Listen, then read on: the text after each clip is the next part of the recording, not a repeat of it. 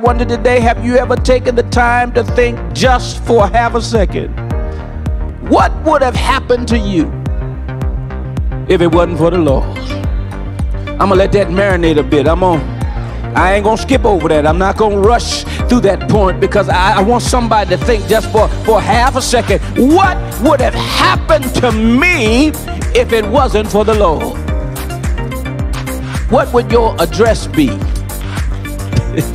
if it wasn't for the Lord?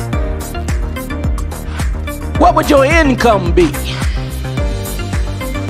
if it wasn't for the Lord?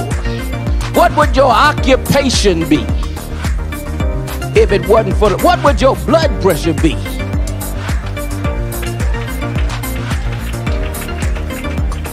If it wasn't for the Lord, what would your attitude be?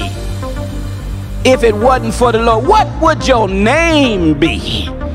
If it wasn't for the Lord? What would your life be if it wasn't for the Lord? All of the things in your life can be traced back to that question What would it be if it wasn't for the Lord?